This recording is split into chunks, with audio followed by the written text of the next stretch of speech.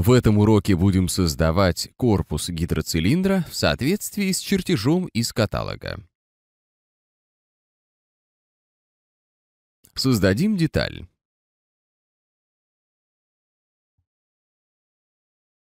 Назовем ее корпус.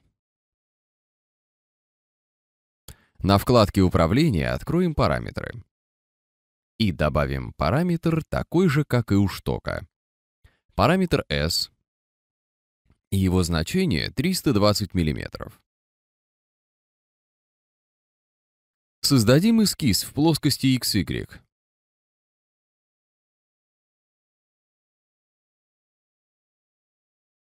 Рисуем эскиз проушины, корпуса гидроцилиндра. Она здесь точно такая же, как и у штока.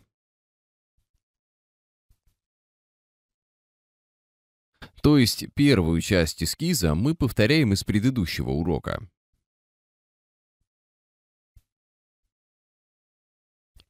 Итак, вертикальный отрезок длиной 22 мм с отступом от центральной точки 12,5. Получим присоединительный диаметр 25 мм.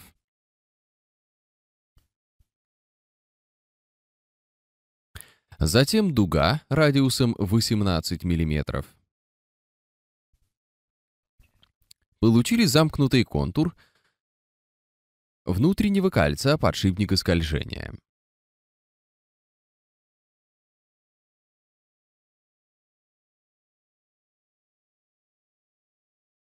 Далее рисуем наружное кольцо подшипника скольжения.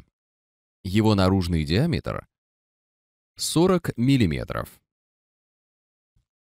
Соответственно, ставим радиус 20 и ширина 18 мм.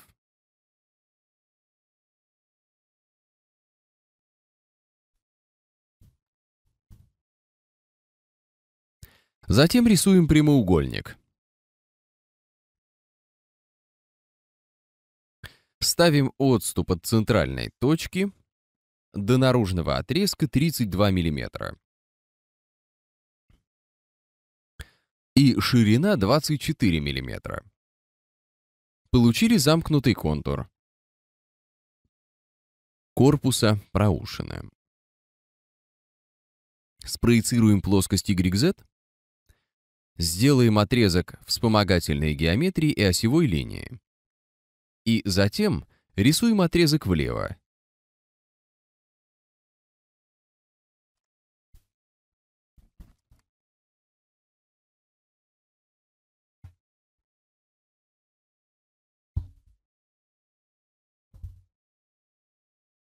И глядя на чертеж в каталоге, повторяем размер корпуса гидроцилиндра.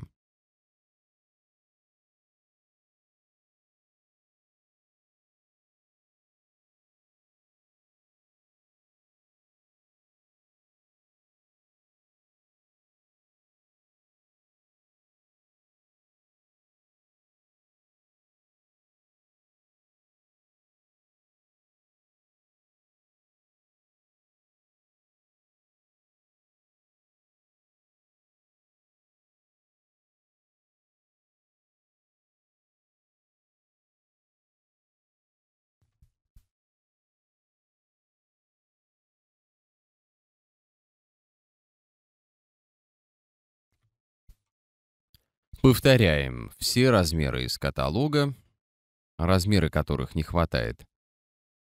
Подбираем вручную, чтобы получить соответствующую геометрию.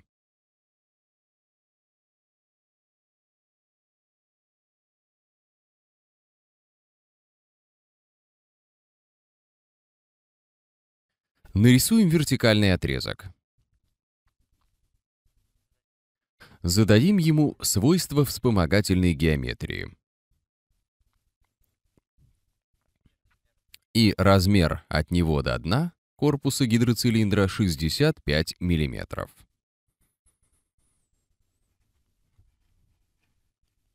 Если с этим размером не угадали, то позже его можно будет исправить.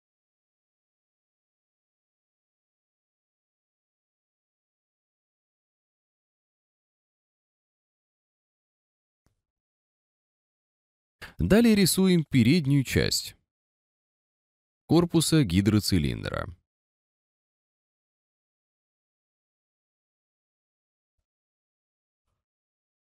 Ширина части с уплотнением 40 мм.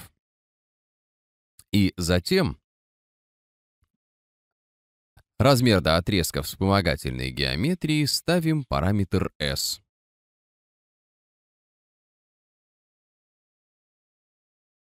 Это будет внутренняя полость нашего корпуса гидроцилиндра.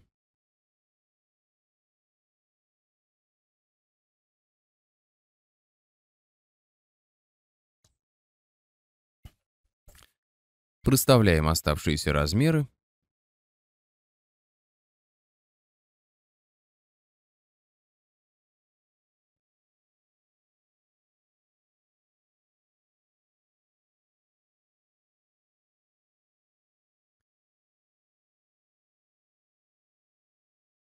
Нарисуем несколько прямоугольников. Это будут уплотнительные кольца в передней части корпуса гидроцилиндра.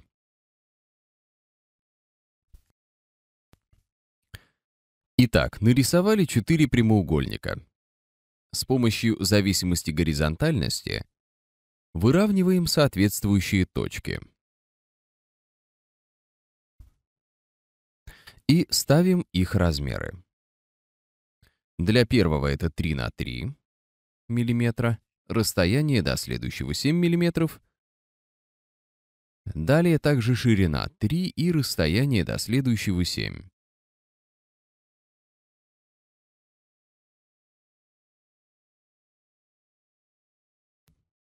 Повторяем размеры для следующих прямоугольников. С помощью их вращения получим уплотнительные кольца. Итак, принимаем эскиз. И так же, как в штоке, видим, что все три первых замкнутых контура определяются при выборе эскиза для вращения. Итак, вращаем первую часть эскиза. Затем выбираем следующую часть с созданием нового твердого тела. Получили упрощенный подшипник скольжения. Далее, вращающим вращаем следующий эскиз. Получили проушину корпуса гидроцилиндра.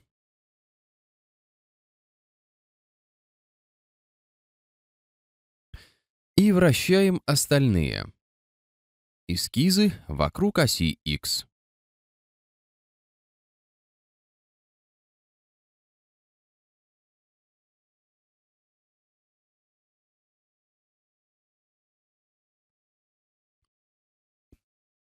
Зададим свойства для твердого тела под номером 5. Выберем прозрачный желтый.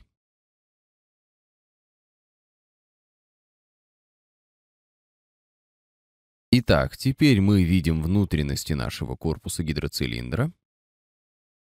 Выбираем эскизы для вращения. И далее ось. Это будут уплотнения.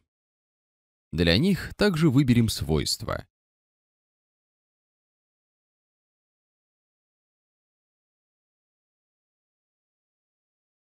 Выбираем представление этого тела, резина зеленая. и выполним вращение последнего эскиза.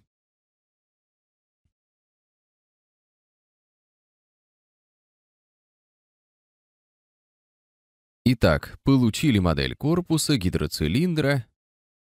Уберем видимость оси.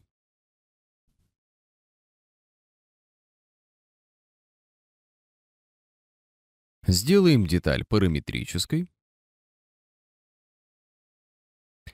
Запишем обозначение. Корпус 320.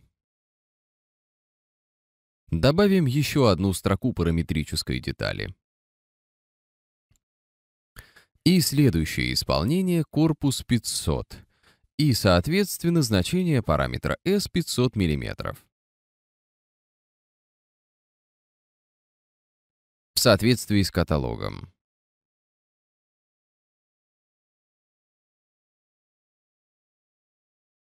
Итак, деталь стала параметрической.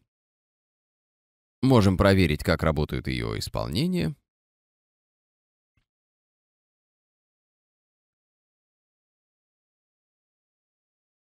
Добавим недостающие фаски на проушине.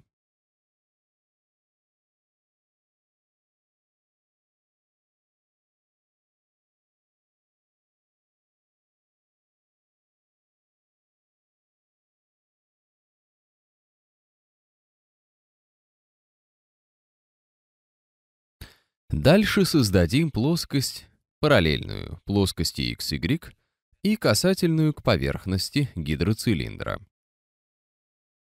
В этой плоскости создадим эскиз.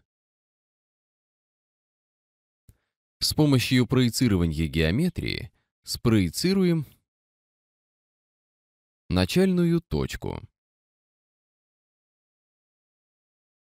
Рисуем в эскизе две точки, Выравниваем их горизонтально с начальной точкой. Ставим размер до нее 65 мм.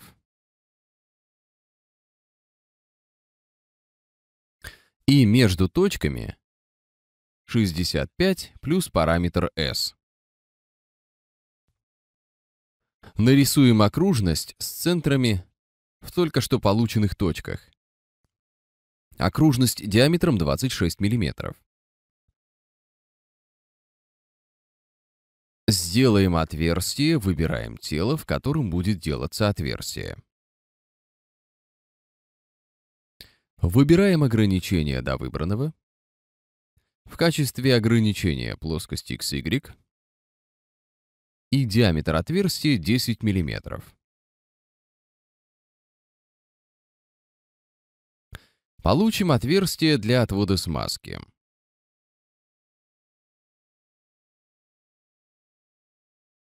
Включим видимость эскиза. Сделаем выдавливание окружности на расстояние 20 миллиметров.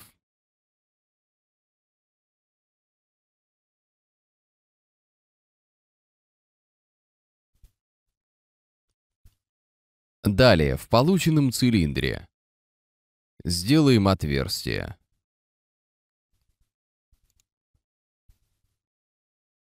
Выбираем отверстие резьбовое, тип резьбы метрическая, резьба М20 на 1,5.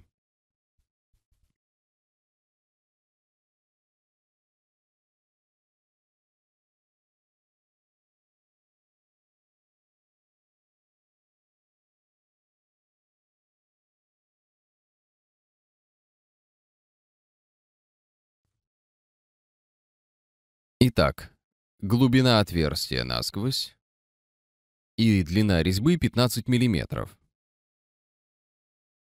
Применим.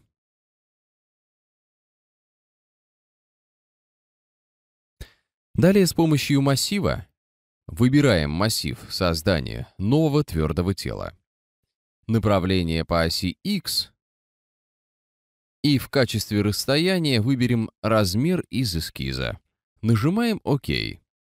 Итак, получили два фланца для подвода масла. Выключим видимость эскиза и плоскости.